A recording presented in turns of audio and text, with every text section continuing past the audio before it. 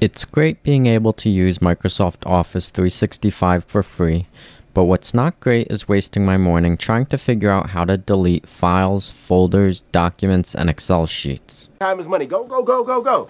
In this tutorial, I'm going to show you how to delete Microsoft Office documents and files. First, head over to your documents or files that you would like to delete. I already have Microsoft Office 365 open and I will now click on the Word icon on the left to go to my documents.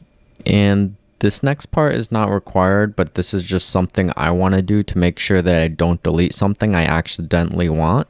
So I'm going to go into each of the files to make sure that there's nothing inside that I want and then come up to the title and just mark it as delete. So I'll change the title of the document to include delete and that way I know that's what I want to delete. Now you can see my top three documents are marked with delete. So next we're going to delete them. Glad to hear it. It's about time. In order to delete the files, you need to go to your OneDrive.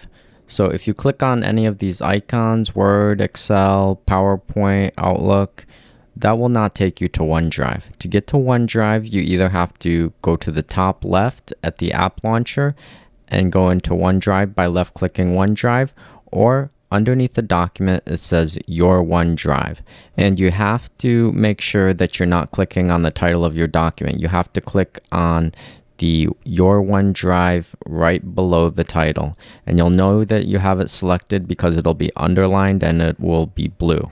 So left click on it. All right.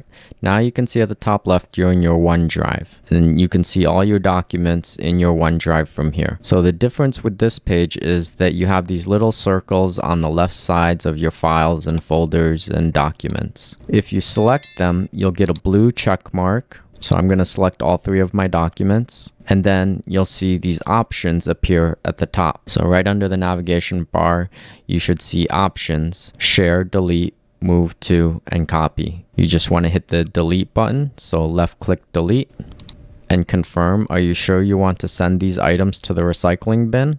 And I'll proceed and click the delete button. Now you can see that the items have been deleted and they no longer appear under my files. Oh, mate, and, and all I could think say was, oh, shit. Oh, shit. Oh, shit. Now, if you made a mistake, you can go to your recycling bin and recover those files. To do that, you want to remain under OneDrive and then go down to where it says recycling bin on the left and left click it. Okay, now I can see my documents and I'll put a check mark in each one of them. And if I wanted to restore them, I'd click the restore button at the top.